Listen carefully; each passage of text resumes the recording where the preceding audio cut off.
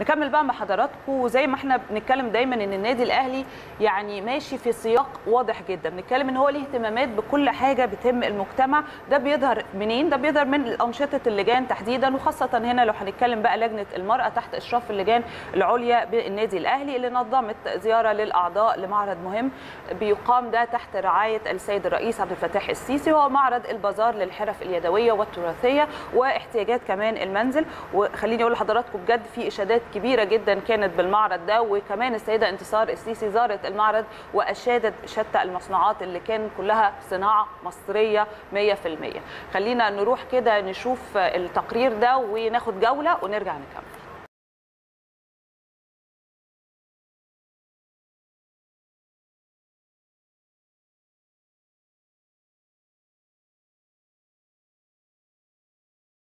إحنا أقمنا معرض البازار وشرفنا إن هو اتحط تحت رعاية فخامة الرئيس. آه، وشرفنا بافتتاحه من قبل آه، حرم سيادة الرئيس السيده انتصار. آه، معرض البازار ده امتداد لمعرض تراثنا. معرض تراثنا جهاز تنميه المشروعات بيقيمه عادة آه، مرة واحدة في السنة. نبقى حريصين على أن يمثل في جميع محافظات الجمهورية وهو معرض خاص بإحياء الحرف التراثية واليدوية. تم إقامة معرض تراثنا دورتين على التوالي.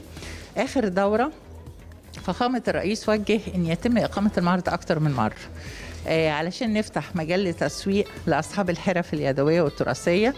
وفي نفس الوقت آه، بنفتح لهم مجال آه، لتوفير فرصة العمل. وإحنا طبعا كجهاز تنميه مشروعات إحنا حريصين على هذا. آه، فاحنا شفنا ان إحنا اقامة معرض بحجم تراثنا قلنا نعمله مرة واحدة في العام ولكن نقدر نعمل أكتر من معرض يكون آه، أصغر منه شوية. فعملنا معرض البازار آه، في قاعة آه، أرض المعارض للجهاز هنا في مدينة نصر اللي إحنا موجودين فيه دلوقتي. وحرصنا أن يبقى معانا عدد من المستفيدين لا يقل عن 400 عارض. آه، معانا نسبة من السيدات تتجاوز 60% من من السيدات العارضات. بالإضافة لأن تمثيل لجميع محافظات الجمهورية. إحنا في شهر مارس عندنا العديد من المناسبات اللي بتخص المرأة.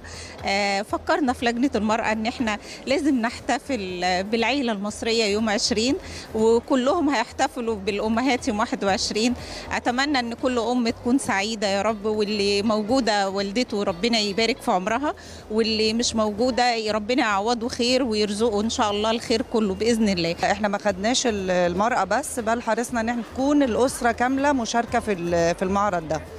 آه، اتحركنا من هناك وصلنا هنا طبعا استقبال هايل.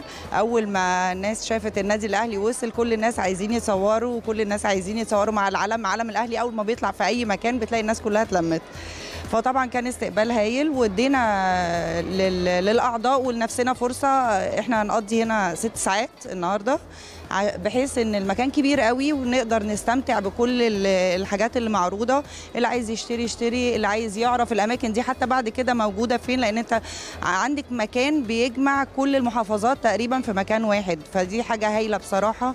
وبنشجع الصناعة المصرية والنادي الأهلي دايما بيقوم بالدور المجتمعي ده. إحنا يعني كان فكرتنا انها هي خدمة مجتمعية بلس إن إحنا آه، يعني بنوفر حاجة للأعضاء إن هم يجوا يشوفوا المنتجات دي.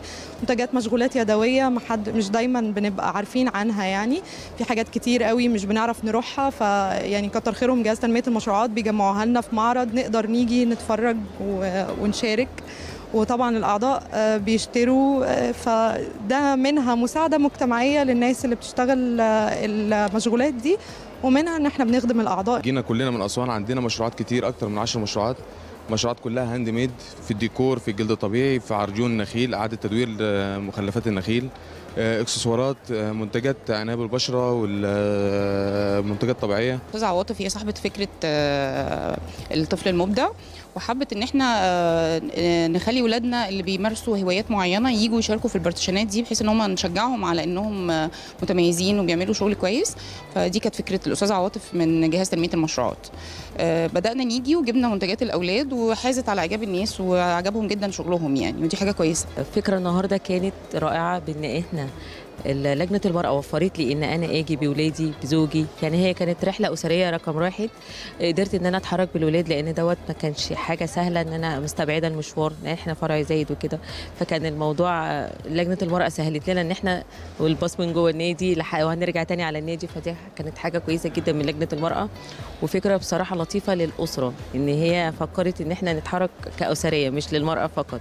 اليوم النهارده كان يوم لطيف جدا ويوم آه، جميل وكان مع آه، بقيه الأعضاء وكده هوت فرحلة جميلة مع بعضينا وبالنسبة لل- للمعرض آه لأ في حاجات حلوة وبتشد وكفاية إن إحنا طالعين كلنا مع آه النادي موفر لنا إن إحنا طالعين كلنا إحنا وولادنا وكده.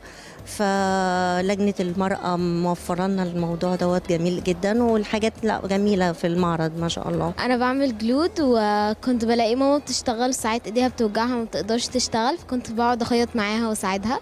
بنجيب مثلا الكرتون بنعمل عليه المقاسات بنحط عليه الجلد وبنقصه وبنخرم وبنبدأ نخيط.